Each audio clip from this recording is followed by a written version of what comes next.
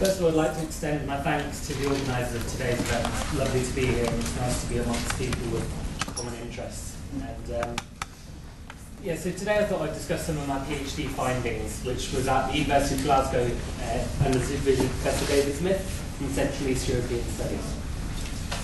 Um, now, okay, Eurovision is an event which people have opinions on. They uh, love to hate it, they laugh at it, but um, it's quite interesting looking at it uh, and from you know beneath the glitz and the, the tackiness of it. And 10 years or 11 years ago now, when Estonia won the contest, it came at a time when EU accession talks were ongoing.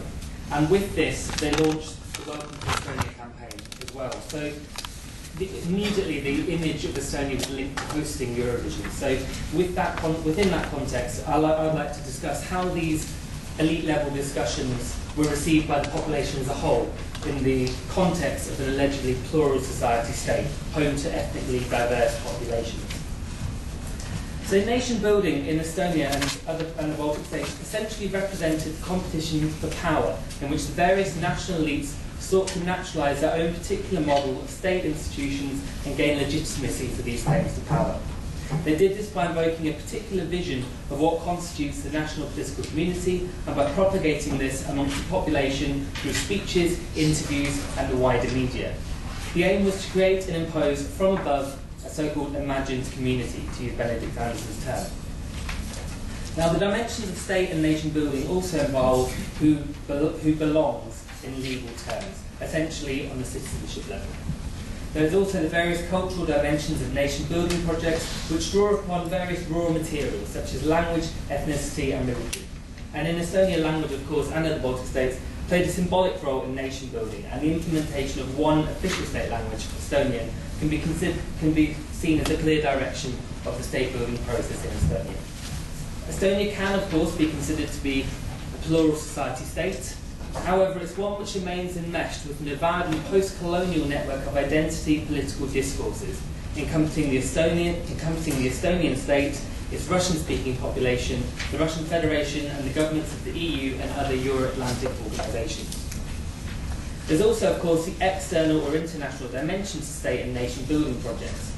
Part of the process of discursively constructing the nation is to establish its coordinates in time and space and relate it in situation to other en entities, for example, Russia, the EU, CIS, USA, as well as larger geopolitical categories, essentially putting the country on the map and proving itself to be a reliable partner.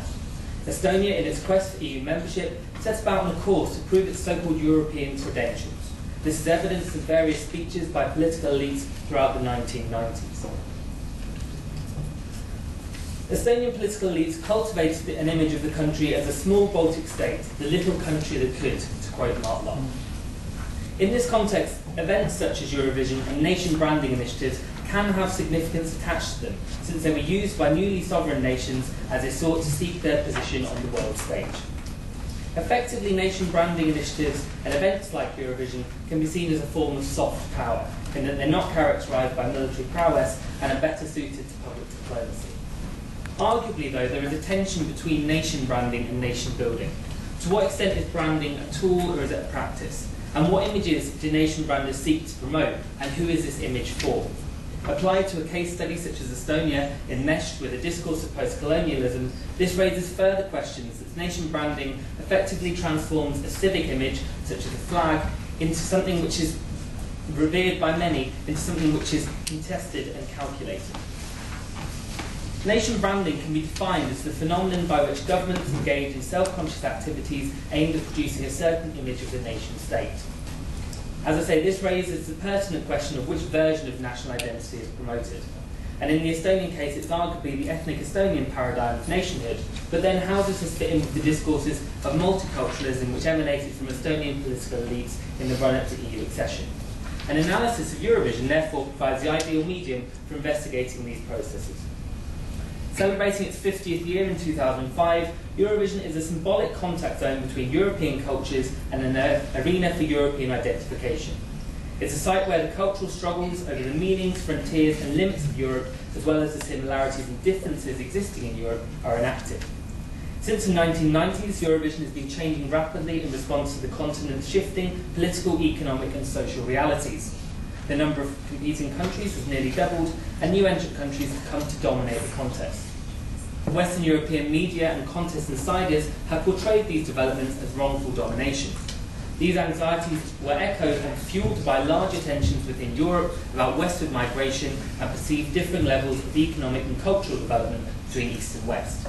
Eurovision has therefore become a stage on which the changing realities of Europe are being played out.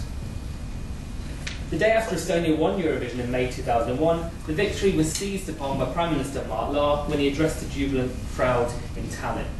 So that quote there shows how the, the image was linked immediately to Estonia. And of course, that's whimsical and you know it's semi-ridiculous looking back now. But I think that provides an insight into actually the wider debates going on at the time. The international image of Estonia was very much on the agenda at this time. And the media coverage of this victory was extensive and euphoric. It was also seen by political elites and certainly people in Estonian television as more than just a song contest. It represented Estonia being accepted by Europe, and it remains to this day the largest international competition that Estonia has staged. The rhetoric surrounding Dave Benton, one half of the winning duo, provides a fertile ground for exploration of multiculturalism in Estonia. Benton was held up as a symbol of multicultural, Estonian multiculturalism in action at a time when the European Union and Council of Europe closely scrutinising Estonian policy towards the Russian-speaking minority. Benton is a Dutch national. He moved to Aruba and he moved from Aruba in 1997, and he's a point of interest not because of his story as an immigrant to Estonia, but also because he is to date the only black person to have ever won the Eurovision Song Contest. Benton and his partner Tanel Padar were supported by the group 2XL, which included two Russian speakers. So therefore, the Estonian entry in 2001 can be seen as a construction of multiculturalism to a European audience, the song itself being called Everybody. It's quite interesting though comparing the media coverage and the, the discourses from the political elites, which I, which I undertook as part of my, my PhD. The coverage suggests that Dave Benton's ethnic origins were not as invisible as the politicians I interviewed tried to portray. In the context of EU accession, Benton could be seen as a usable figure for Estonia's political elites, as I say, Many politicians commented that Benton representing the country was entirely appropriate for a modern multicultural democracy such as Estonia, since he was the embodiment of the integration model. Benton represents the desires of the political elite keen to portray Estonia as a liberal multicultural country in the run-up to the EU accession. However, several of the ground roots responses told a different story, and my respondents alluded to underlying attitudes which were not engaged with in the media or by politicians at the time. Now, that was the I was never, it was never my intention to discuss racism and I'm not in any way suggesting that Estonia is, you know, racism exists in every society and I'm not suggesting that it's more prevalent in Estonia than anywhere else. But what is interesting is, as I say, this clear division between the so-called elite level and the grassroots level respondents in most studies.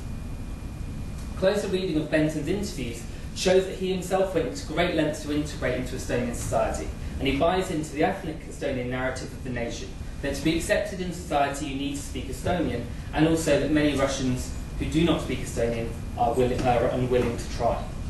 Benson's story suggests that issues concerning linguistic, ethnic and linguistic and minority integration in Estonia are far more complicated than the previous literature suggests. And I believe that this in turn makes the story all the more fascinating, but all the more contradictory.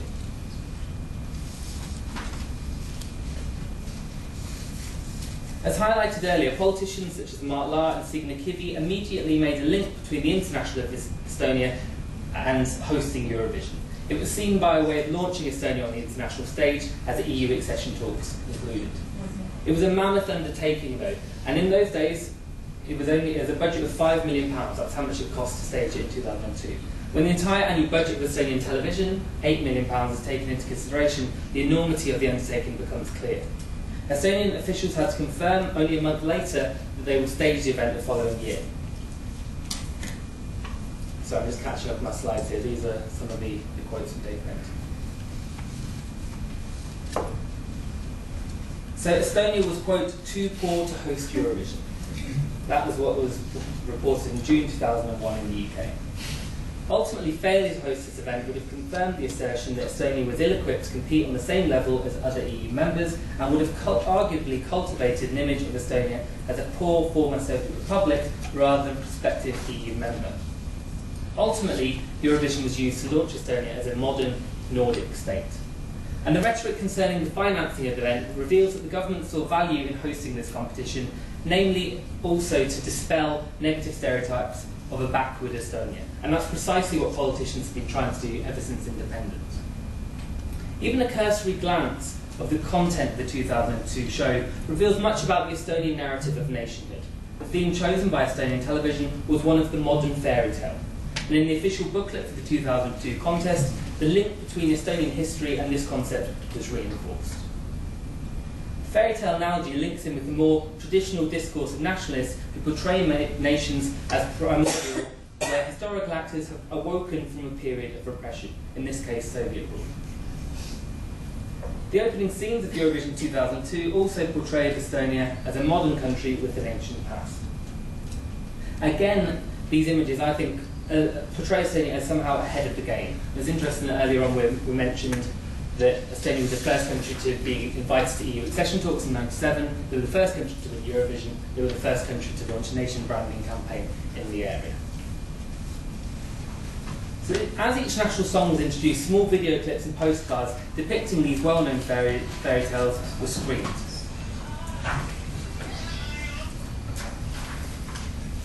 And as I say, oops, the clips did try to portray Estonia in a certain way, so countless internet connections ahead of the game. But what's also interesting, note that, that sauna, Extreme Heat from Estonia, was screened directly before the Finnish entry, aligning Estonia with Nordic, Nordic sphere again.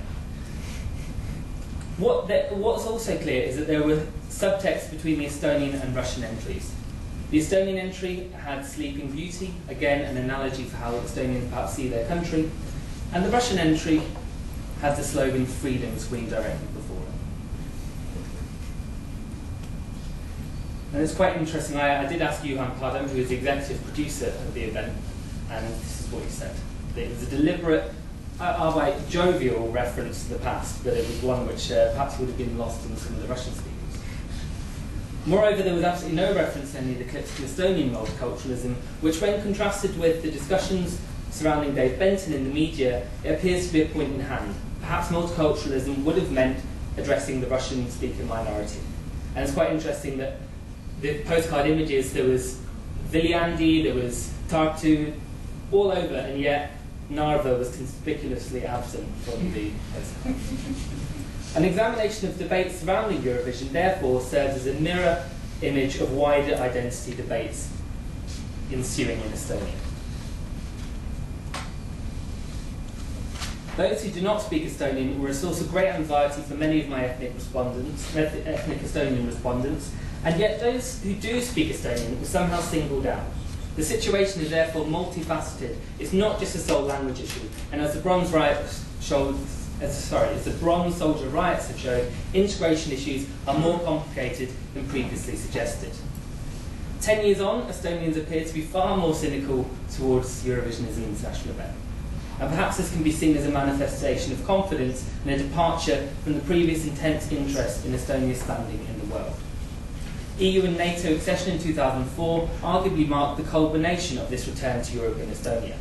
However, authors such as Merje Kuus argue that Orientalist narrative depicting new member countries from Central Eastern European Europe as not quite fully European have persisted beyond 2004. And again, this has been seen in Eurovision itself with the othering of states who have recently joined Eurovision. And many Estonians themselves buy into this. So therefore, Eurovision offers an opportunity for the othering of the East. It effectively shows how Estonians perceive themselves generally. The respondents interviewed for my research displayed an aversion to being discursively lumped together with other Eastern countries. Despite this, the continued participation of Estonia suggests that Eurovision remains an important event in terms of ritual. And it was paid, Estonian participation in 2010 to uh, 2011 was paid for by Enterprise Estonia, who saw it as a viable way of promoting Estonia to the international community. This is at a time when Estonian television had faced many cutbacks. So in a sense, it highlights that Eurovision has a symbolic role in terms of maintaining an international image, or to quote President Ilves, it has become another boring Nordic country. My research is effectively a historical study and it highlights the nature of socio-political identity debates at a specific time and place.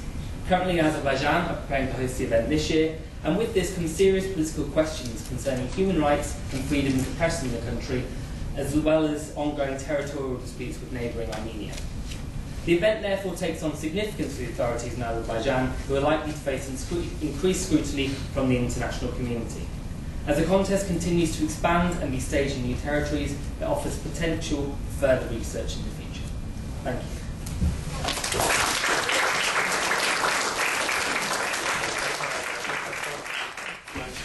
Um, our next speaker is Dr. Mindaugas Kvietkauskas, Director of the Lithuanian Literature and Folklore Institute in Vilnius. Uh, Mindaugas, please. Uh, thank you. I'm happy to be here again just a few months ago, I was present here at a Polish conference uh, at a discussion on Czesław Miłosz. And uh, well, that was one more example that the fruitful debate among the Lithuanians and the Poles uh, continued despite the conflicts of the political elite. Uh, well, today I'm uh, going to uh, discuss the changing changes in the relations between writers and the audience in the literature and in society in Lithuania during the years of the independence. Uh, well, uh, these, uh, these transformations are really uh, important and in some sense symptomatic uh, because many writers had a hero during the process of liberation, during the fight for independence, and later on they tried to uh, find a new position in a changing society.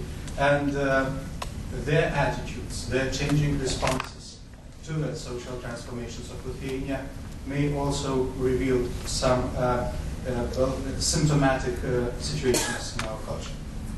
Well, it is often claimed that uh, modern social and cultural processes, which were shaped over hundreds of years in the West, uh, occur suddenly in the Eastern Europe at an accelerated tempo in big leaps forward and breakthroughs. Uh, this has been determined by continuous cultural and life tensions in those nations. Nevertheless, as uh, German writer Günter Grass has once said, uh, it is better to live in the West, but it is more fun in the East. Uh, in Lithuania in the early 1990s, uh, just as it has happened several times throughout history, everything changed at once. Uh, political and social relations, the economy, uh, and the horizons of value and culture. Uh, this time, the historical change and civic freedom coincided with a sh shift toward globalizing postmodern culture. And uh, this uh, situation is really paradoxical. It's a double post, post-Soviet and postmodern at once.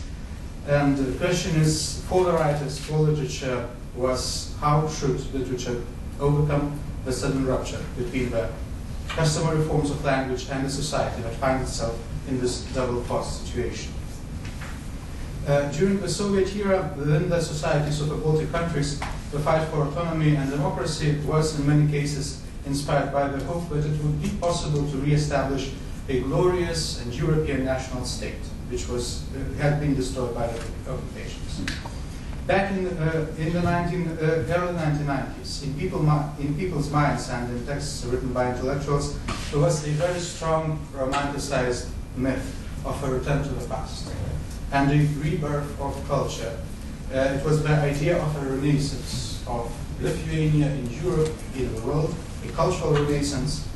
And uh, through this idea, the realities of the uh, liberal capitalism, uh, consumerism, informational, information technology, and uh, the paradoxes of postmodern relativism were really not apparent. Um, the complications of identity, ingrained, ingrained Soviet habits and uh, mimicries, the stereotypes of modern nationalism, of patriarchal gender relations, traumas of memory, these were not objectively apparent and perhaps uh, well, could not be apparent at, uh, at that time.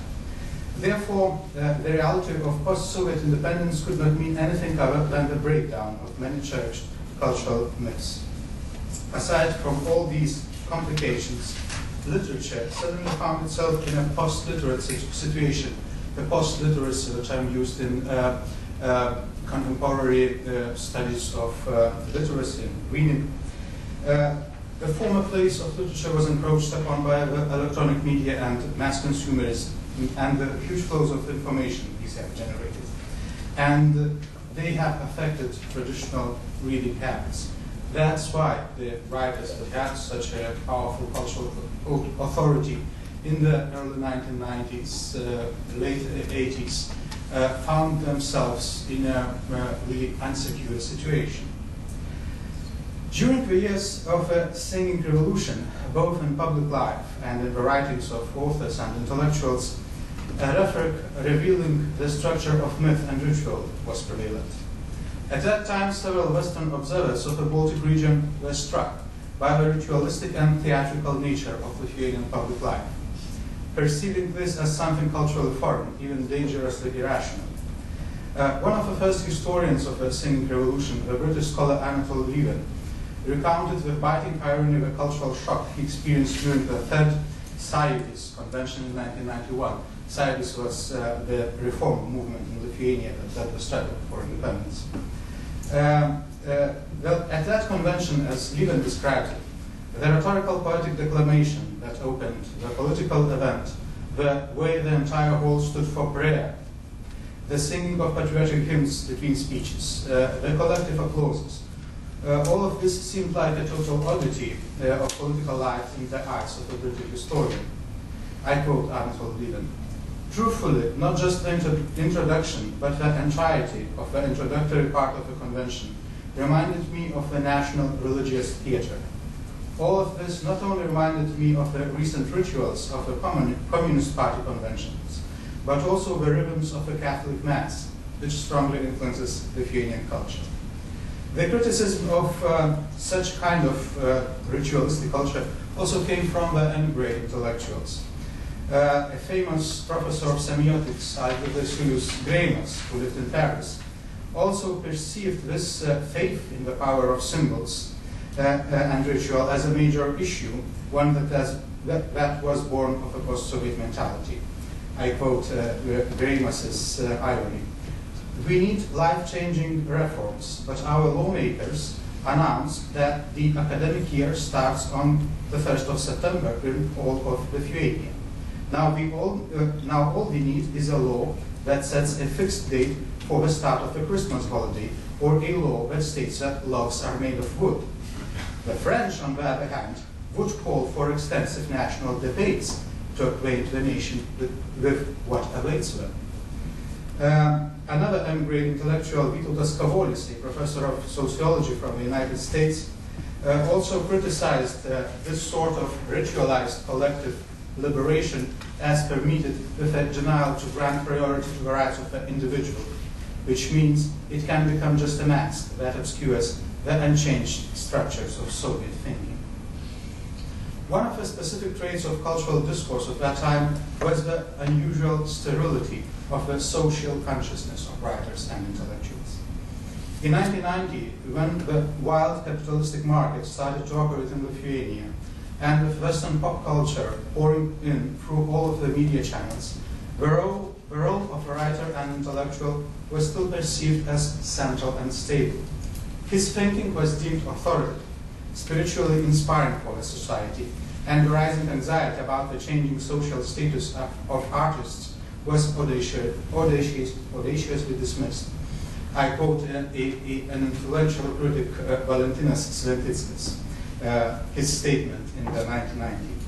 Several creators of spiritual goods continuously grumble about threats to the material welfare of writers. I state this. The most dependable guarantee is the authority of the writers' community during the period of national liberation. Who could imagine that, that the Lithuania of today would allow its writers to become beggars? Really, who could imagine that? the as yet secure condition of writers in this strange social niche, safeguarded by certain guarantees of cultural importance, and the vague understanding of post-Soviet capitalist change, a severe handicap Western critics, Western critics warned of, uh, can be also illustrated by the following 1990s prediction by the poet Valdas Kukulas, I quote. Uh, it's a prediction about the future of literature. Literature, including poetry, will clearly become differentiated. There will be kitsch, mass scribbling, and academic university poets. Like with serious music, the writing of poems will become a pastime of a spiritual aristocracy. However, this will not occur quickly. No one can convince me that a change in the political order will make Sovietized Lithuanians take work seriously, that a functioning leisure and entertainment industry will be rapidly created, and that we will easily change the Homo Sovieticus psychology. This means that we will still have plenty of time for youthful sentiments, past sympathies, past sympathies, and even poetry.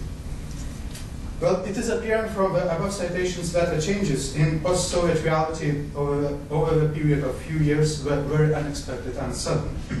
The introduction of free market economics, the dissolution of social security, tangled domestic political intrigue, the fragmentation of society, and the consumerism boom. Unavoidably and quite quickly it became clear that literary discourse, uh, the previous literary discourse, and uh, previous uh, positions of writers had very little to do with the new rea reality.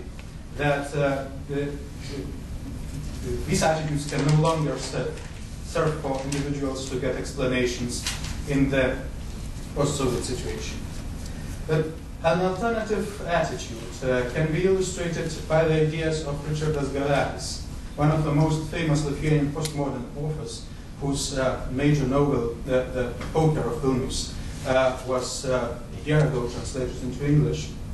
Well, Gavelis raised these um, issues in his essays, stating his allergy, allergy to collectivism. During the period of national rebirth, Gavelis demanded that literature free itself from the coalescence with public mythologies, purge itself of, of its still inadequate understanding of a new environment, and become a totally professional undertaking that actualizes only the free life of the separate individual. In not choos choosing the complete sovereignty of the person, the priority of the free person, literature risks moving towards a new invol involuntary servitude to collectivism and ending up in another purely Lithuanian, completely national anthem. I, I will quote Gavelis now. Even until very recently, Lithuanian writers performed a multitude of functions not characteristic of a true writer. In the eyes of the society, a writer had many professions. Books by writers, both poetry and prose, were often purchased, purchased not for their artistic value, but in the hope of finding in them some pointed social or political statements. An abundance of very pleasant chatter about absolute trifles has emerged, suppressing essential things. And this is very dangerous. Our language influences the world on its own. If language becomes deceptive, it begins to corrupt and destroy the world. Therefore, it is an essential step for a writer in the post-Soviet period to expose the reality and the fictitiousness of its created mythologies, of his national theater, and to retreat from social and political processes to develop a skeptical, deconstructive individual distance. This individual distance and conceptual free thinking linked to the experience of a person's metaphysical freedom is evaluated by Gavelis as a truly Western stance. But if Gavelis were still alive now, he died in 2002, and witnessed young Lithuanian writers uh, appearing on popular TV shows and employing PR company, companies in order to construct their images in the mass media, he probably would have viewed as a total, as a total sellout.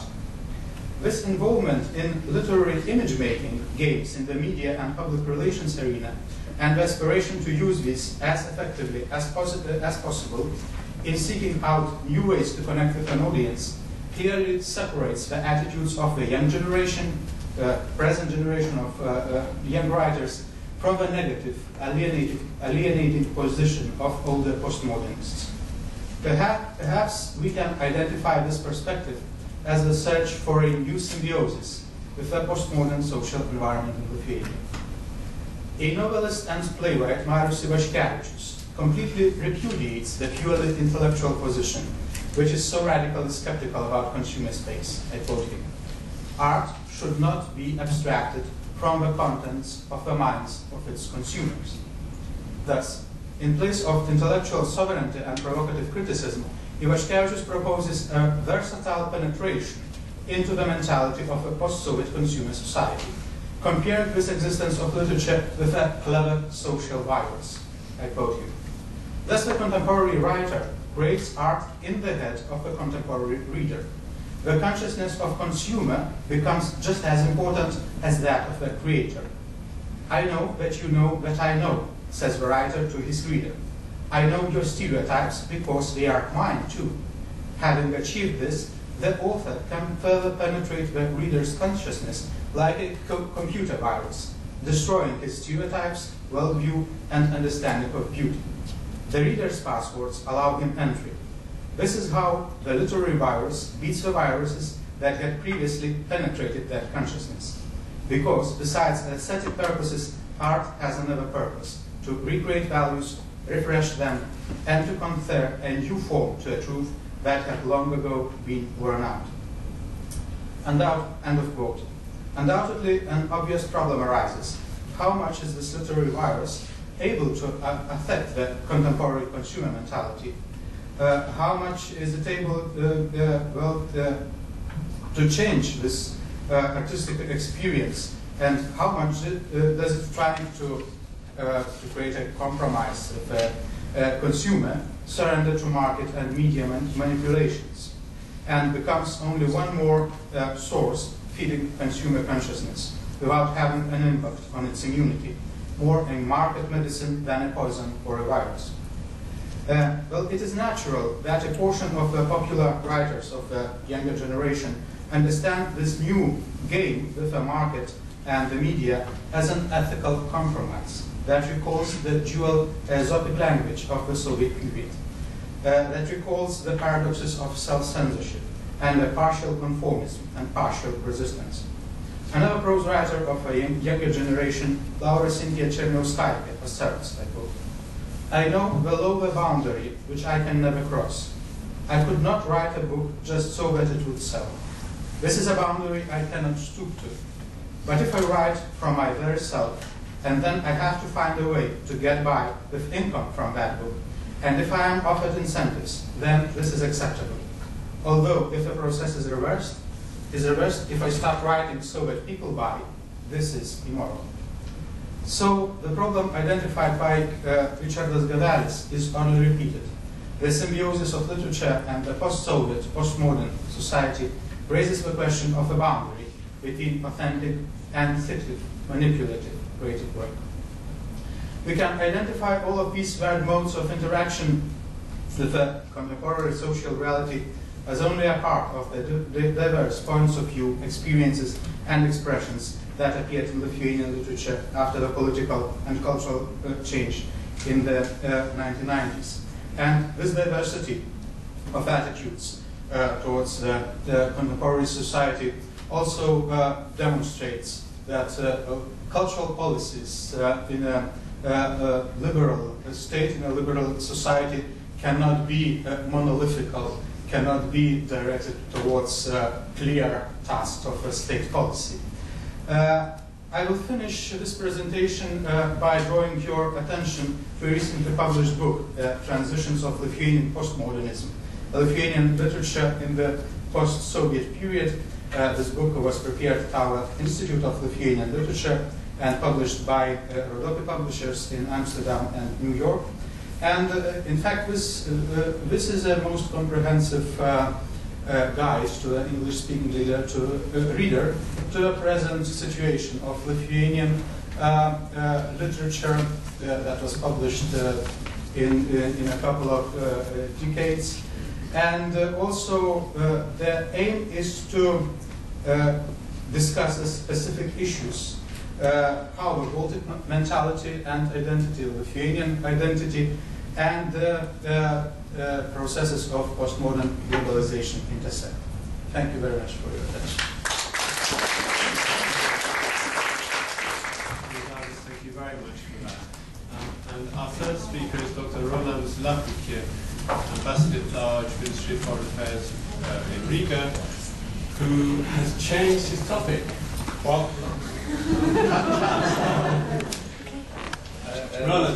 Thank you very much. Uh, I, yes, it's a very risky exercise I'm going to get into. I've prepared something, and, uh, and uh, but seeing that it's a cultural panel, I have to change a bit, and uh, I hope my, my ideas will get across. Uh, they are not totally fixed in my mind, so they will express themselves. And uh, but that's how I work usually. I do not always know what I'm going to say. I'm not always uh, agreeing with myself anyway. So, uh, first, the, the basic idea will be that uh, um, I am uh, convinced, uh, or I have analyzed very often the role of the movement of persons and with them the movement of ideas uh, to explain a lot of things that are happening today in the diaspora today, but also, for, um, for example, the shaping of the Latvian uh, uh, Republic in 1918. I won't go through the whole history, don't worry. Uh, there has been at least in the last uh, 150 years three waves of migration uh, from uh, Latvia. And uh, it is against what the people in Latvia think of themselves. Uh, they think that we are sedentary, we are peasants, etc. Well, history proves that it is maybe the contrary. It's one of the myths. It's, uh, I said uh, before to somebody, it is a bit like uh, the, the, the president of the Chamber of Commerce of uh, Lisbon in Portugal told me, everybody says we are the descendants of the great navigators. It's, it's wrong. We are the descend- descendants of the ones who stayed home. So when we are talking about Latvians as being peasants, we are talking about the ones who stayed in the countryside. But it's not the Latvian nation as such. We have a, a, a, a, a big wave before the First World War and during the First World War. Actually, it was the phase of globalization. It was a phase when Riga actually was the richest city it has been in, its history. There was movement there from the city, countryside. Riga was 125,000 inhabitants in the mid 19th century. 1914, 450,000 inhabitants. So there was the, a flux of an exodus of uh, the peasants then to the city. Uh, the Latvian nation so appeared uh, at the end of this globalization in Europe. It was the end of a few European empires. The Russian one, but unfortunately remained uh, the Soviet Empire, the Austro-Hungarian Empire, the German Empire, and the Ottoman Empire. All those empires disappeared, and it was the creation of the national states, we, which we, of course, Latvians were very keen uh, to, to, to, to found. The second, I would mention uh, the second wave of migration in the 40s, um, but it was a tremendous wave in all directions, actually, including deportations to Siberia. Those were free travels that were not, not everybody was actually wanting to have. Then there was the exile. Uh, up to 2,000, uh, 200,000 uh, uh, inhabitants of Latvia fled to, to the west. And uh, the, during the Soviet times, some people said there was a bit of a flux more to Russia. Latvia was a place where it was safe and nice to, uh, to, to live in the Soviet Union. But then after 1991, we have the migration that we are still uh, uh, seeing today, and, uh, and actually in uh, the United Kingdom especially.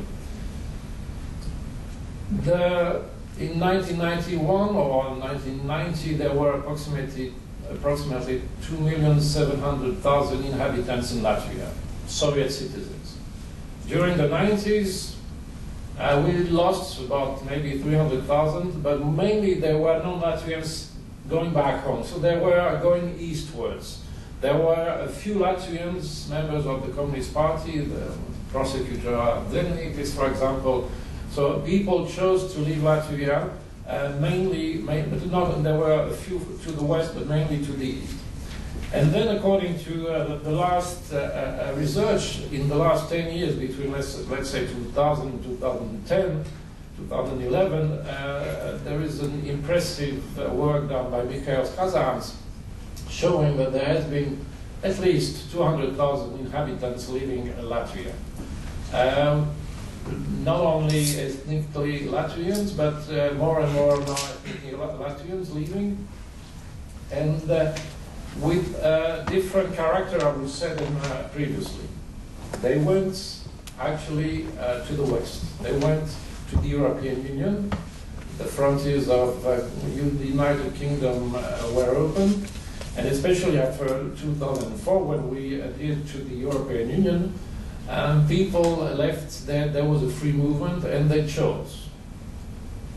What's without going into into detail why did they leave? Obviously, according to what you said, uh, Günter Grass said they, they left Latvia because they don't love fun. Obviously, it's the main the main the main reason, but there may be other ones. Uh, I would stress not only the crisis, etc., but two of them opportunities. There are probably a couple of people uh, amongst you are people who have been, have been searching for opportunities in the West. Well, as a matter of fact, the opportunities are different. Of course, uh, if we have a higher diploma, it's not a majority of those who have left. It's about 30% maybe who have a higher diploma. But there are a lot of young students having their diploma afterwards when they are in England or in the United States, Germany, France, etc. But you see that in Ireland, for example, there are only 15% of persons having a higher diploma. And that shows that there are actually lower layers of the Latvian society left, especially to Ireland. You see, you see that very concretely and some of them, of course, are here in in um, in uh, uh, in London, in the, in the United Kingdom. But the opportunities, what, what does it mean? If we go back, I said the Latvian nation uh, was created exactly when it was possible. President Wilson had uh, his uh, thesis or his points, 14 points of 1917 about self-determination those persons who are leaving now, they are reacted very naturally.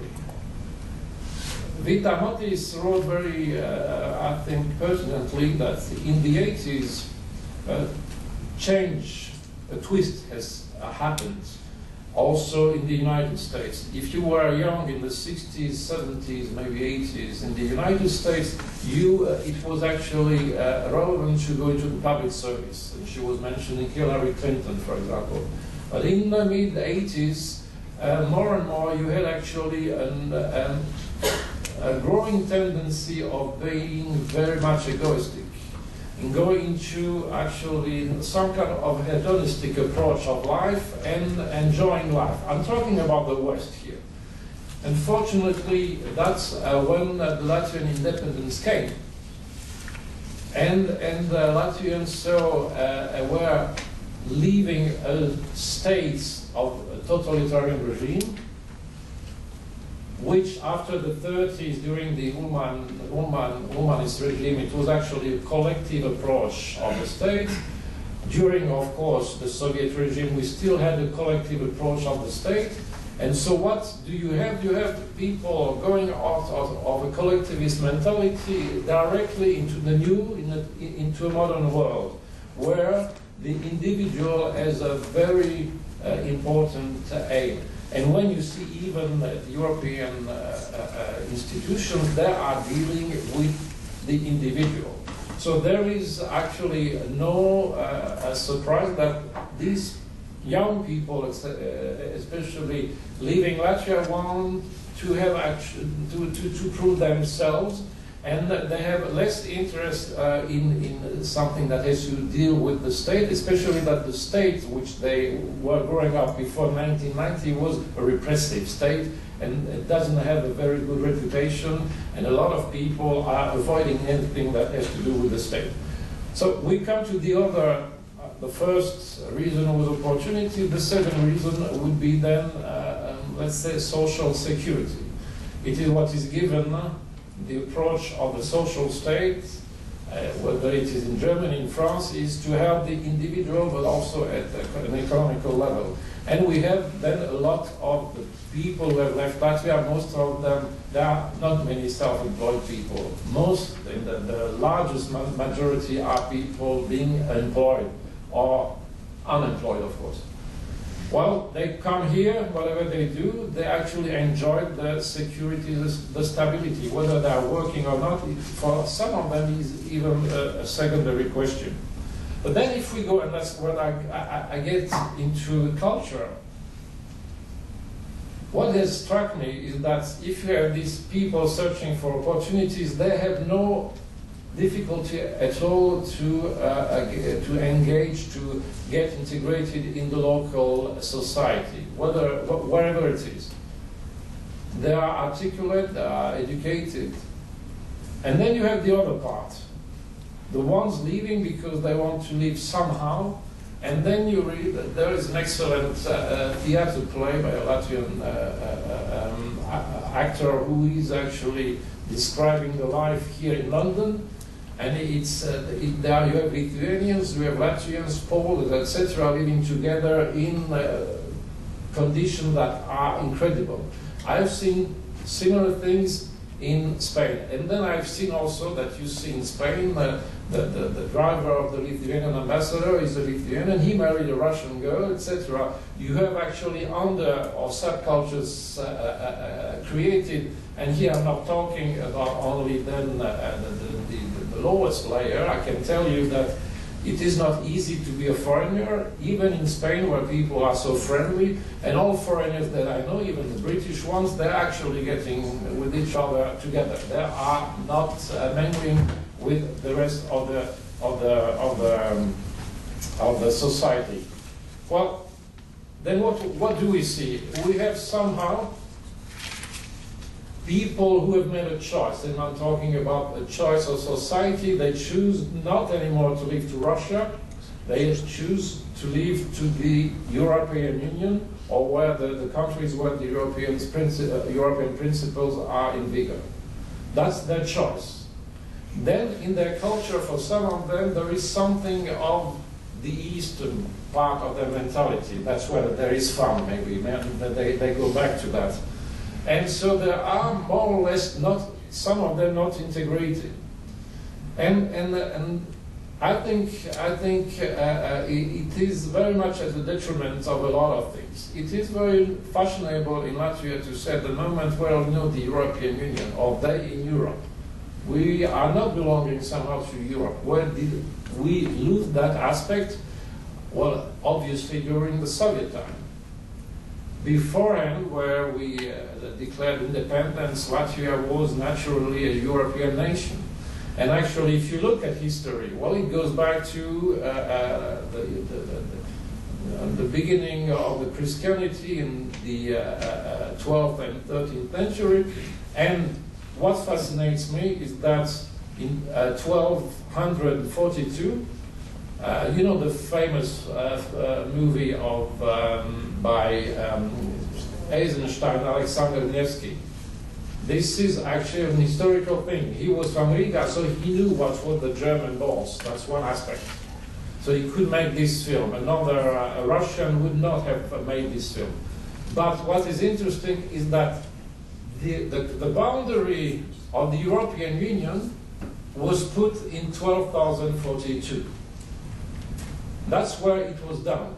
You had a, a boundary between Western Christian, Christianity and Eastern Christianity. Then you can jump centuries. You see European, his, European history in Latvia in um, another date which fascinates me, 1524, the first Lutheran parish in Riga. The thesis of Luther was were in 1517. There was no fact, nothing. The first Lutheran parish outside Germany was in Riga.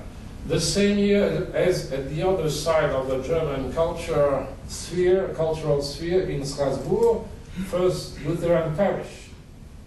There was Andreas Knopke who went and see Melan, saw Melanchthon and came back, and, and there was a parish uh, in, in, Latvia. At 20, uh, 1524 actually is the date when you see in San Sebastian, they arrested a, a boat in Spain and they took the Lutheran literature and they burnt it. That's the southern reaction to that. We were part of the European history. I would jump, I don't know, to the 19th century.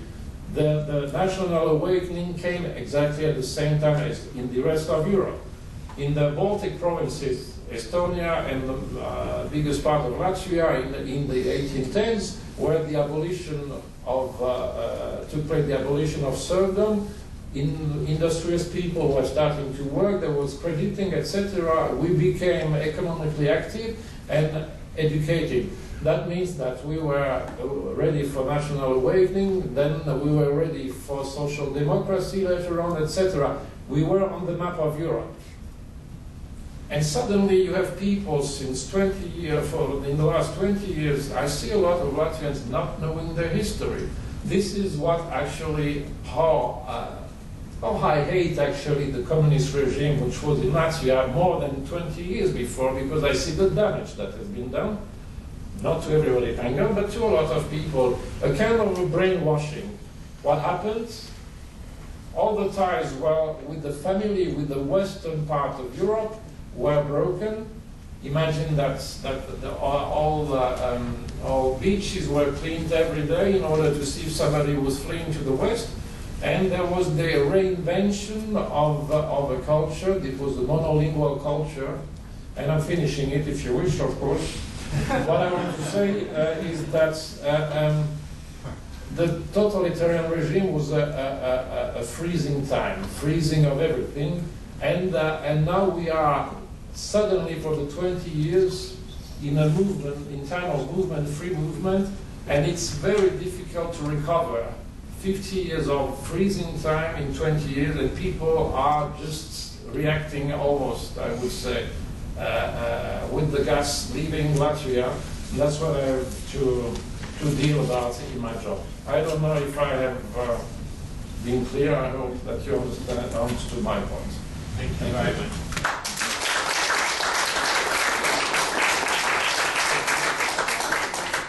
I think it's enormously important to to locate cultural processes in that larger historical perspective, but also the sort of socio-economic perspective, demographic perspective.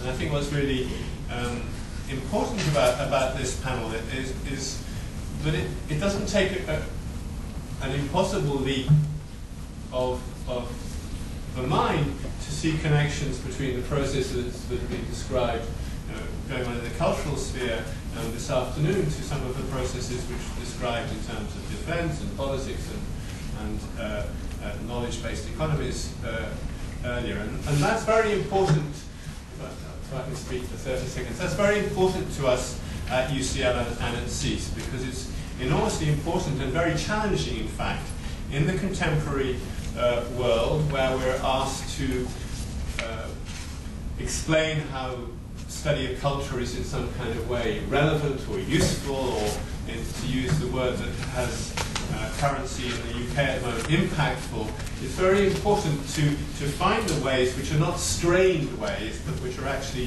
authentic and intellectually justifiable ways to talk about culture in wider contexts that um, resonate beyond the narrow uh, bounds of, of academic scholarship on, on literature and culture. And I think the, the, the three uh, speakers this afternoon have in their different ways contributed very valuably to, to that kind of broader understanding of why cultural processes are not irrelevant to uh, uh, the kind of um, questions that um, the sort of policymakers and, and sort of think, think of the ones that we should be focusing upon. So it's, you know, it's not just research for research sake, as uh, Professor Baršauskas mentioned this, this morning, research also has to be for, to answer real questions. I don't actually agree with him. I think research for research sake is valuable in itself, but I think the trick is to, to find where research for research sake is, is, is, that, but, but not only that. And I think our speakers this afternoon uh, have shown us ways to do that. So you'll excuse me sort of speaking from the heart as the director of an institution which is constantly sort of has this question posed to it, and, and, and I had got enormous enjoyment from our panelists.